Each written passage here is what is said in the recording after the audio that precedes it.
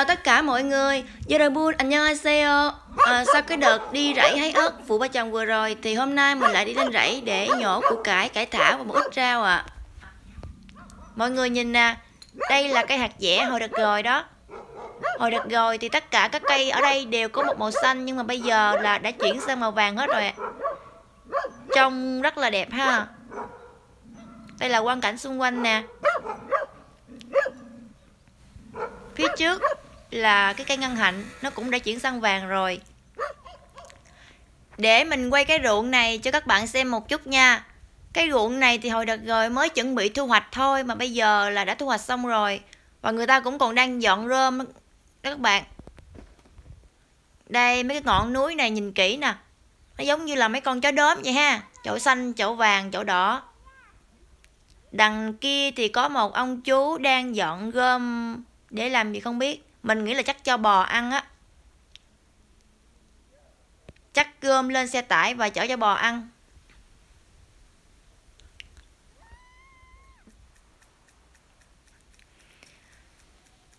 Đây là những cái luống rau mà ba chồng mình trồng nè mọi người. Ở ngoài là củ cải, cái bên là cải thảo, cái bên cái luống đậm đậm đó là bắp cải và bên kia là cải thảo à ba chồng ổng không có xịt thuốc rải phân gì hết á, vì chồng để ở nhà ăn á mọi người, cho nên là nhìn nó tàn tạ, sâu xia tùm lum hết trơn nè. Còi cọc quá trời luôn. Bắp cải có bắp quá trời luôn nè mọi người. Bắp cũng bự dữ rồi ha. Chắc vài ngày nữa là sẽ ăn được rồi đó. Mình thấy cũng có bắp bự dữ lắm rồi đó. Đối với một người thích ăn rau như mình, thì thấy mấy cái luống bắp cải này với mấy cái luống rau đằng kia thì cầm lòng không nổi muốn xà vào ôm ấp ngấu nghiến nó thôi. Bây giờ mình sẽ bắt đầu nhổ cải thảo nha. Cái đám cải thảo trước mặt đó mọi người. Um, hái để cho mẹ chồng mình bỏ vào canh sườn bò ở quán ăn á. Mà hồi cái đợt rồi mình có đăng video rồi đó. Thì hái cái này cũng dễ dàng lắm. Chỉ cần mình lấy cái dao nhỏ mình sắn dưới cái chân của nó mình rồi mình nhắc bổng nó lên thôi là xong à. Khoảng chừng 10 phút là xong à thì trong thời gian nhổ cải mình hát cho đỡ buồn nha mọi người.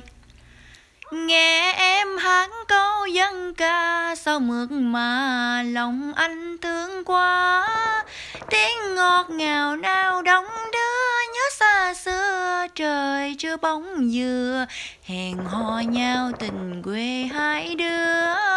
Mùi ma nón hương tóc em, biết bao kỷ niệm. Nhắc lại thấy thương sao thật buồn. Trời ơi cái này là cái câu mà hai ca sĩ người ta hát. Mà mình quất một lượt một mình mà ơi mình mình chơi bắt chấp luôn quá đuối. Còn đây là củ cải nè mọi người. Củ cải ở hàng này á, thì trồng vào mùa đông nó mới tốt và mới ngon được. Trồng vào mùa đông thì nó sẽ giòn ngọt và to như vậy nè ăn rất là ngon luôn. Công nhận nó bự ghê ha. Nhìn thấy cưng dễ sợ không? Xanh dờn ở trên có mấy cọng tóc, mấy cọng ờ, lá lĩa chĩa ra nè. Trời ơi, nhìn nó ngon mà thấy cưng hết biết luôn rồi. Nè, bự ghê ha. Ngon quá trời luôn. Củ cải làm kim chi vào mùa đông đó các bạn. Còn đây là ba chồng của mình ổng đang nhổ uh, cải cho mình lặt lá để đem về nè. Ổng sẽ chắc lên xe tải và chở về. Thì cái bự á, thì để cho mẹ chồng mình làm kim chi. Còn cái nhỏ á, thì để ờ, dùng làm ờ, tùng chí mi á là cái dạng kim chi củ cải nước á mọi người. Đây nè một hàng dài từ đây tới đằng kia là củ cải không đó để dành cho mẹ chồng làm kim chi bán ngoài quán suốt mùa đông và để ờ, làm kim chi cho cả nhà ăn đó các mọi người. Quá trời củ cải luôn, nhưng mà củ cải này còn nhỏ đó nha. Tại vì bây giờ nhổ ăn từ từ á, chứ thực ra để nó bự nữa thì nó càng ngon nữa. Và bây giờ là mình sẽ lặt lá phụ ổng nè. Mình lặt bỏ những cái lá bự và to ở ngoài còn trừ cái lá non một ít uh, một hai cọng ở trong thôi. Lặt hết tất cả các lá của nó đi. Thì củ cải này không có bỏ gì hết trơn á mọi người. Cái củ thì mình ăn là đương nhiên rồi còn cái cọng lá á mình luộc lên rồi bắt đầu mình sắc nhỏ ra mình nấu canh thèn trang tèn trang là cái loại đậu tương mà người ta làm bằng đậu nành á đậu nành ngâm nước một đêm rửa sạch rồi nấu um, trong vòng 4 năm tiếng cho nó nhừ ra sau đó xay nhuyễn. Rồi mình đem đi um, nặng thành những cục tròn tròn hoặc là vuông vuông rồi để uh, phơi khô trong vòng một tháng. Mà phải làm mà phải làm vào mùa đông nha mọi người. Xong rồi á mình đem đi nhào lại rồi ướp muối rồi bỏ vào những cái khạp á. Những cái chum cái kiệu của bên hàng này nè cũng giống như bên Việt Nam mình vậy đó. Không biết là mẹ chồng mình có làm thêm công đoạn nào nữa không? Mình không rành nhưng mà mình theo mình biết là như vậy đó. Và cái cọng cải này nè nấu với cái tèn trang đó đó người ta gọi canh gọi là canh xi lắc cúc. Rất là ngon. Ừ, nhưng mà bây giờ là chưa có thể à, phơi. À mình phơi mấy cọng này nè rồi xong mình đem lên luộc. Nhưng mà bây giờ trời chưa có lạnh lắm á cho nên là không có phơi được tại vì phơi là nó sẽ bị thúi á. Cho nên là ba chồng mình, ổng sẽ đem những cọng này đem cho dê ăn. Rồi sau này ờ, tháng, khoảng tháng sau á, khi mùa đông lạnh cực độ tới á, lúc đó thì những cái này sẽ được phơi, khô và để dành ờ, làm canh đó, canh ờ, silac cúc. Còn bây giờ thì ăn cũng được thôi, bây giờ một chút nữa mình sẽ lượm ít cọng về luộc để nó canh ăn. Ăn liền mà, đâu có sao, đâu đâu có sợ hư đâu.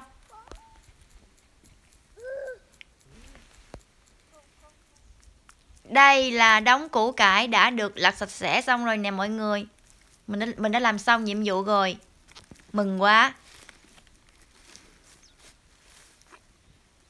À, lặt sạch sẽ sắp ngay ngắn à. Nhìn rất là đẹp mắt và ngon ha mọi người. Ờ, nhìn nè trời đất ơi nó bự nè. Củ này là bự nhất á. Mấy củ kia nhỏ nhỏ để dành làm tông chimmy trời con này củ này cũng bự nữa nè. Còn đây là cái đống lá lúc nãy nè. Đống lá này sẽ được uh, cho vào miệng những con dê. Uh, mình một ít mình sẽ lượm một ít cọng về để nấu canh ăn. Mấy cọng nào mà tươi xanh non mơn mởn á. Thích ăn rau á cho nên á thấy mấy cọng nào mà xanh xanh non non phái ăn dữ dằn lắm nhìn cái cưng hết biết rồi. Ngon dễ sợ luôn. Ừ. Thấy uổng mà ăn đâu hết đâu. Ăn ngã nào cho hết. Có mấy con dê nó mới ăn nổi chứ người nào mà ăn nổi mấy đống này. À, bây giờ là mình nhỏ hành hành bên Hàn Quốc này là sao nó bự dữ vẫn biết nữa. À, tại mùa đông nó bự á. Chứ hồi đó mình ở Việt Nam bên mình hành đâu cầm nhỏ nhỏ không mà đâu có bự dữ vậy qua đây nhìn thấy cộng hành nó lúc mới qua nhìn thấy cộng hành hết hồn luôn má ơi cộng hành thì bự dữ thằng trời. Rồi cái uh, có hai loại hành nhỏ là hành và hành bự mới biết. Hành bự này thì trồng vào mùa đông thôi nó mới bự. Nè đống hành này nè. Thật ra đống hành này là ba chồng nhổ uh, ờ, sẵn để cho mình đó. Hồi nãy mình nhổ là mình nhổ tượng trưng cho mấy bạn xem thôi. À, cái cây hành ngon hết biết không? Ở miền tây thì không có cây hành bự như vậy đâu ha. Hồi đó mình đâu thấy cây hành bự nào như cây hành này đâu. Cũng vừa vừa thôi chứ đâu có bự dữ vậy. Mà này nó còn nhỏ chứ có bự hung nữa nha mọi người. Đây là cây cà tím nè. Cà tím thì uh, việt nam đầy rồi. Ông trồng có mấy cây này mà tới mùa mùa hè vừa rồi đó. Cách vài ngày hái về một xô. Cách vài ngày hái về một xô. Trời ơi ăn biết ăn cà tím mà muốn thành cả cái trái cà tím luôn á giết ngán luôn á, không biết làm gì ăn luôn á. Đó, bên đó là luống rau. Đây, cái hệ thống tưới nước của ổng nè. Nó quay 360 độ, nó xịt tặc tặc tặc tặc tặc tặc tặc. Trời ơi. Ông làm cái này cũng tiện quá ha. Tưới nước cũng được. Quay quay quay, tưới tưới tưới. Đây là mấy cọng salad nè mọi người không biết phải salad không nữa nó mẹ gì đó.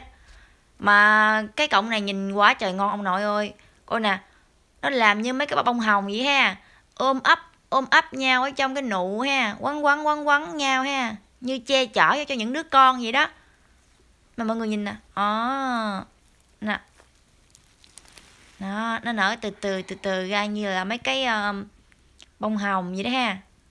À, trời ơi nó ngon. Màu tím.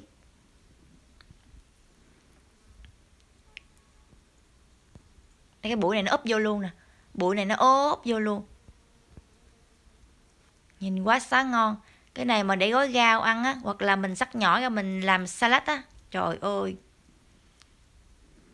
Không còn từ gì để diễn tả. Bây giờ mình sẽ lặt thử cho mọi người xem nha. Mọi người nghe cái tiếng lá non của nó nè. Cái tiếng lá non của nó là mình nghe cái tiếng thôi là biết nó non và nó ngon cỡ nào rồi đó mà sao cái này sâu nó không ăn nè? Không có xịt thuốc gãi phân gì chứ mà sâu sâu sâu, sâu nó chê mới ghê chứ. Đó, trời đất ơi. Mình tưởng tượng nhìn này như là cái đuôi cong vậy đó. Nhìn nè trời nó bự như cái mặt luôn nó bự hơn cái mặt mình nữa. Hết biết luôn. Quá trời ngon rồi ở nhà của mình á, thì ăn rau cải này kia không có tốn tiền mua chỉ là đi chợ mua thịt cá và trái cây thôi còn rau thì lên trên gãy này hái ăn, thấy bà nội luôn, không hết nữa. Trời ơi, thấy ngon quá ngon. Đây, bây giờ mình sẽ giới thiệu cho mọi người cái cây này nè. Nó cái trái là cái trái gì không biết nè.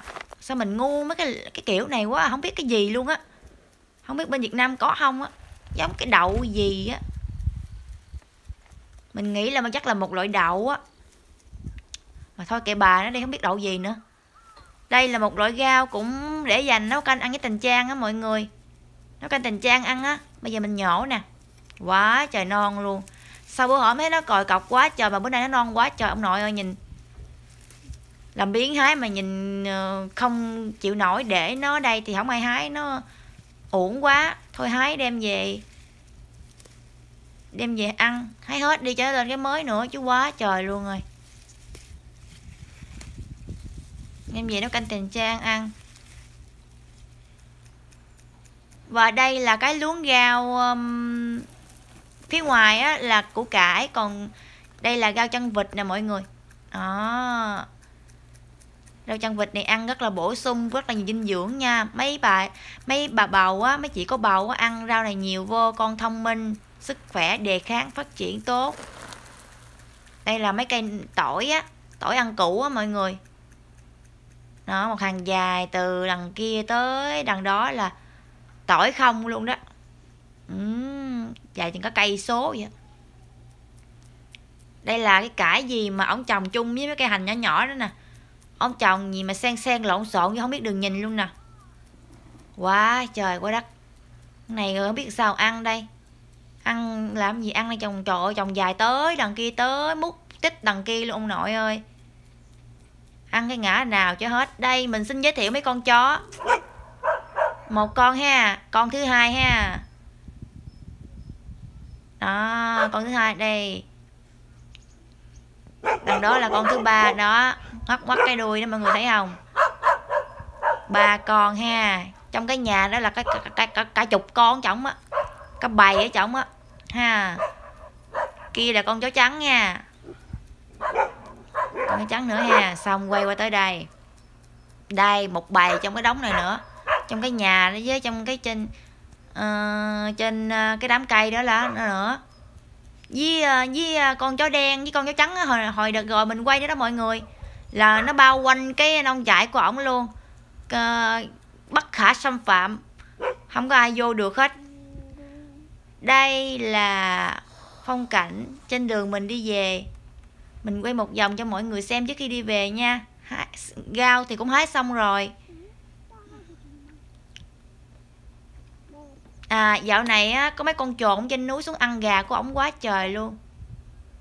Ở trên núi có trồn nai heo gừng. Ờ, sóc thỏ nhím tùm lum cho nó mọi người.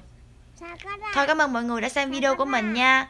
Chúc mọi người vui vẻ và nhớ subscribe cho mình nha. Tạm biệt mọi người. そうか、だから。